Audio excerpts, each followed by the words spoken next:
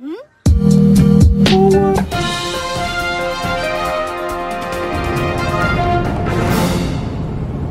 Hey guys, so this is the facility.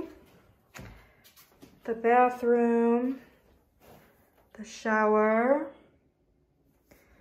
and this is the toilet. And this is my room. Yeah. Okay, and this is the box where they have all my stuff. This is the sheets. Um, trying to figure that out. And let's see what else they have. They gave me some towels, some ramen, some napkins, some house slippers, um, TP, some cups, coffee, shower gel, laundry soap, toothpaste, wet wipes, gloves. This is the trash bag.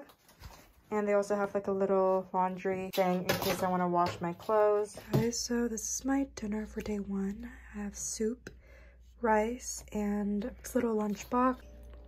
I honestly can't tell what any of these are. This is obviously kimchi, some mushroom, fish maybe, dumplings. This is breakfast. They gave us rice porridge with abalone, ABC juice, cheese rolls, apples. He gave us two slices. I ate one already.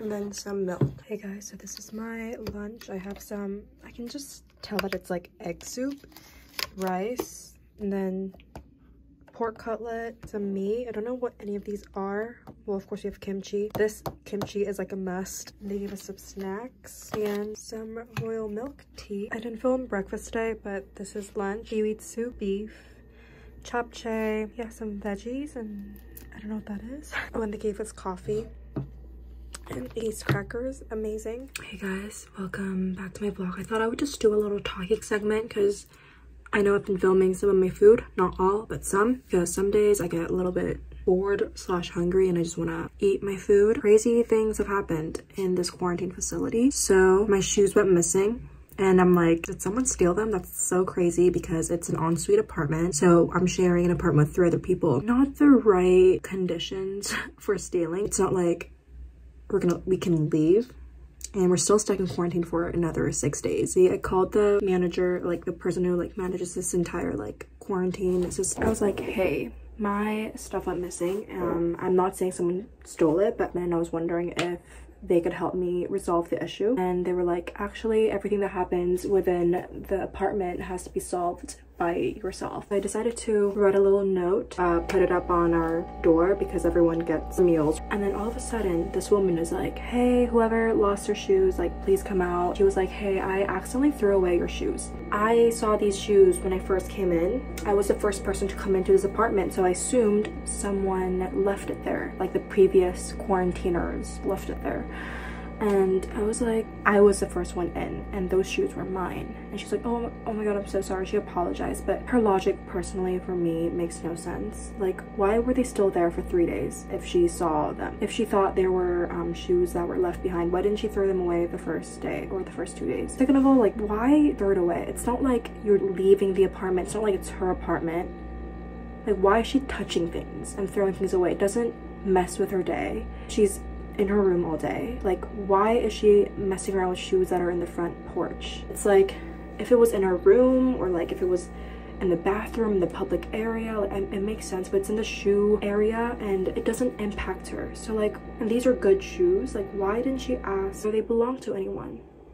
I'm sure she noticed there's four rooms in here. I mean, she gave me like these like cheap slides and she's like, you can wear those. I'm very like unconfrontational and I guess we still have a couple of few days left. So I was really nice about it. I was like, yeah, it's fine, whatever. Yeah, misunderstandings can happen. But for me, it's just like we're in a COVID facility.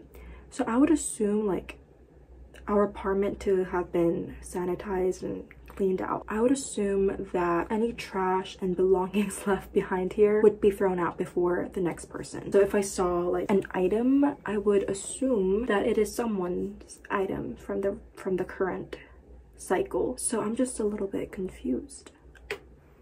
So this has me thinking like, what if she actually stole it and said she threw them away? But it's fine. She gave me shoes to wear, which it's fine. The only reason I really wanted those back was because I needed shoes to wear to go home. I'm just gonna give it a bit of the doubt because I hate making assumptions and I hate um, accusing people without proof. You know, maybe she really did throw them away. Yeah, so if you're quarantining in a shared facility, don't bring designer shoes. Anyway, with the quarantine facility, I just wanted to talk to you guys about what is there.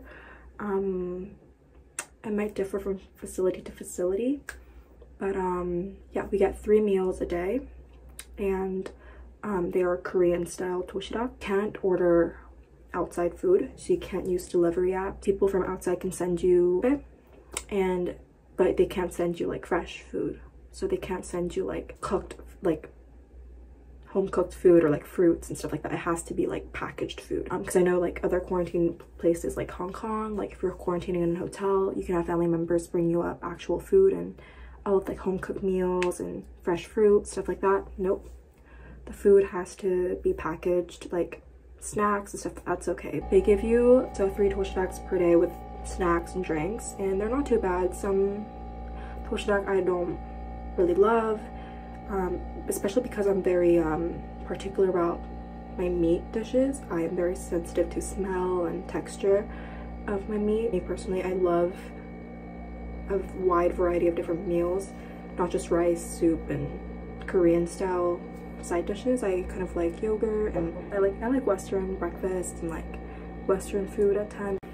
They do give you some Americano packets, um, six cup noodles, six bottles of water. For quarantine, twice a day you have to record your body temperature, your blood oxygen, as well as blood pressure, and they give you all the machines to do that. I guess the pros facility is that it has good Wi-Fi, um, it has a mini fridge, um, and it comes with like a lot of amenities like kettle, hair dryer, um, toilet paper, and obviously the cons are its tiny dorm room. Um, this could differ from facility to facility. You're sharing this apartment with three other people personally for me it goes against the premise, the DNA of this virus. We'll be sharing like bathrooms. And thirdly, the food comes cold. This is one thing that was the I think the most concerning part. Maybe because it's winter and the transportation from the kitchen to the quarantine facility is a long way and they sent us a porridge and they sent another one today.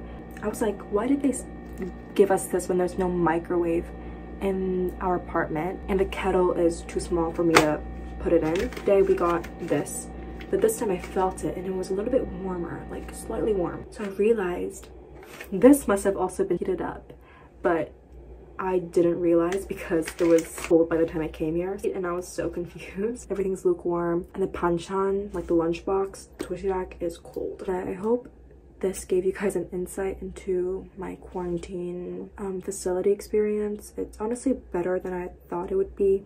My number one recommendation would be to bring your own toiletries like shampoo, conditioner, body wash because they don't give you enough and I don't know if they replenish it but also the quality sucks so if you're a girl and you have long hair highly recommend to bring your own shampoo conditioner body wash I think that's it um, I'm back home I'm done with my quarantine in the facility. It was around a week, but I still have three more days of quarantine left. They basically thought that I'm no longer contagious. I feel like I've gained a few pounds. I wanna eat some salad because I feel like I need to do some damage control. I literally ate ramen like four times in in seven days, which is quite problematic. Well, you guys can see how chubby my cheeks are, but yeah but it's good to be home.